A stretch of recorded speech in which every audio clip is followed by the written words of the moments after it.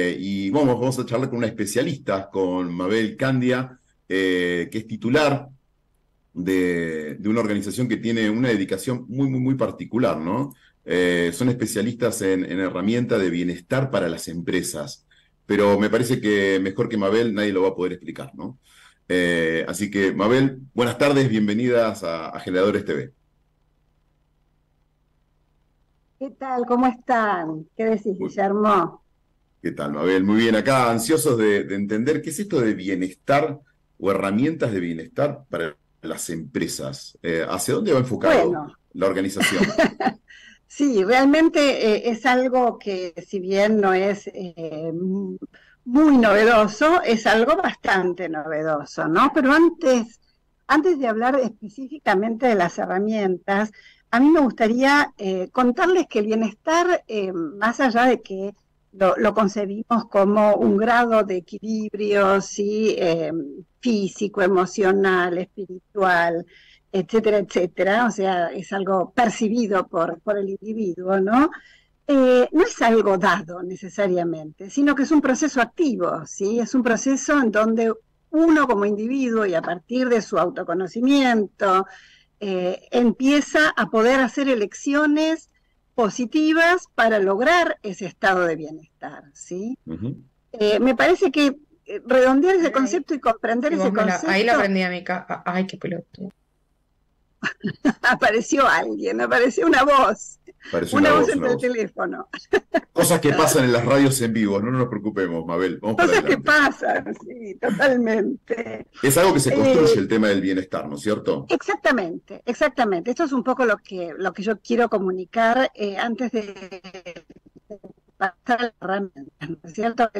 Si hay herramientas es porque seguramente hay algo que podemos hacer, sí, y que algo que podemos utilizar de manera positiva como para poder lograr un objetivo determinado. Yo te comentaba, Guillermo, que para mí el tema del bienestar eh, tiene mucho que ver, o el logro del bienestar tiene mucho que ver con el autoconocimiento, ¿sí?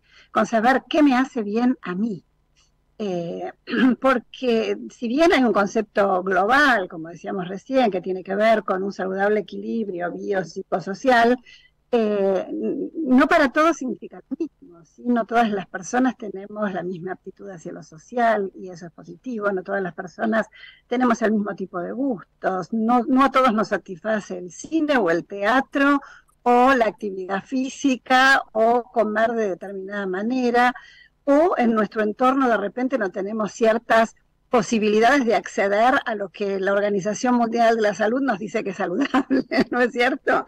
Entonces uno, en función del conocimiento de su entorno, el conocimiento de sí mismo, el, el, acceso a distintos tipos de posibilidades, va construyendo su propio bienestar. Y por otro lado, hay algo más, el bienestar es dinámico, ¿sí? Porque hoy puedo estar bien eligiendo determinadas cosas y mañana estas cosas me quedan insuficientes o ya empiezan a dejarme satisfacer del mismo modo, entonces tengo que comenzar a elegir otras que me hagan, eh, que me hagan sentido, ¿sí? Eh, yo creo que el bienestar, eh, sí. No, te decía que vos sos titular de ICAS Argentina, que es una, es una organización, es una, una institución que todo esto que estás comentando del bienestar, del bienestar que se construye y demás, eh, está muy orientado hacia, un, hacia la aplicación real sobre organizaciones, sobre empresas.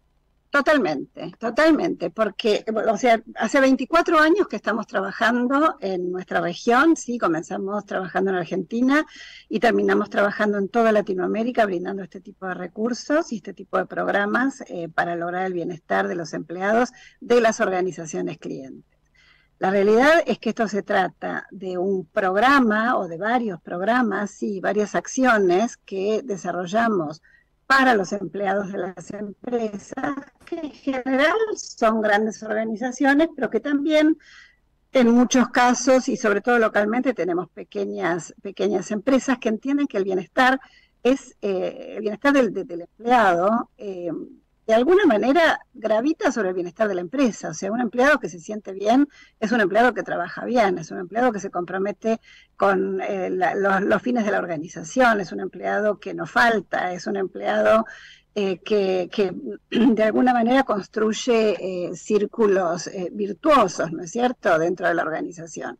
Entonces, si uno comprende esto, o sea, acá hay dos aspectos, el aspecto del individuo que va a recibir el servicio y que va a elegir qué tipo de beneficio va a utilizar para su bienestar y una empresa que entiende que el bienestar de la empresa se construye a partir del bienestar de los empleados, ¿no? Inclusive eh, impactando esto en temas tan, tan eh, actuales como puede ser, por ejemplo, no solamente la no rotación de personal, sino la productividad.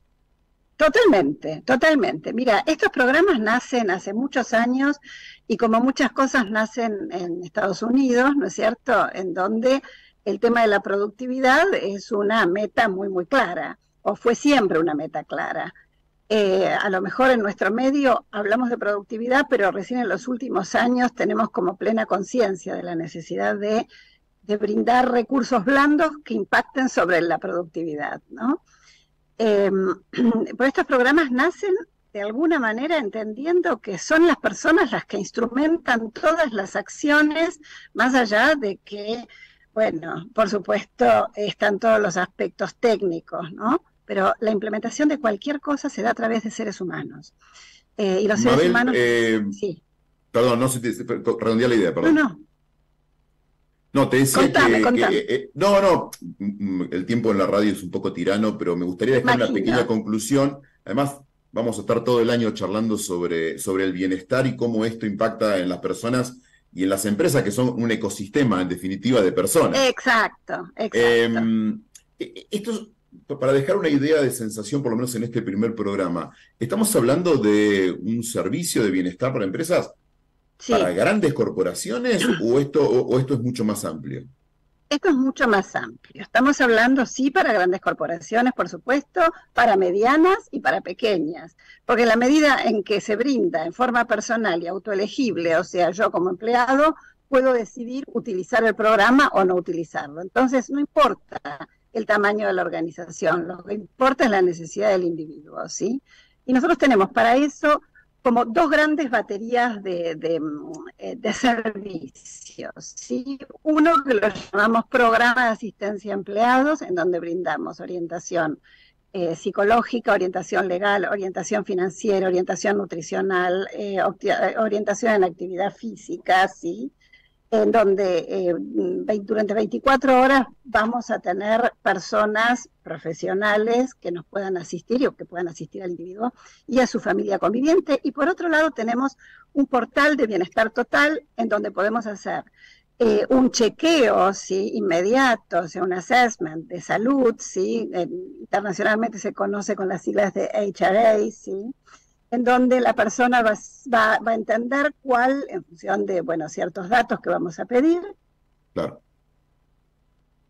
personal, y vamos a sugerir una serie de acciones, y a partir de esas series de acciones, sí, de ciertos recursos de los que nosotros disponemos, bueno, esta persona podrá hacer un manejo de su bienestar eh, lo más eh, ajustado con su necesidad, ¿sí? Mabel, la verdad que es súper Sí, obviamente, es súper adaptable. La verdad que has tirado muchísimos tips.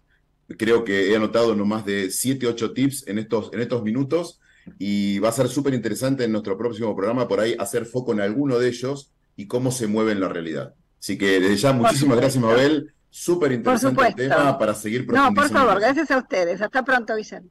Mabel, muchísimas gracias. Eh, seguimos con nuestro programa.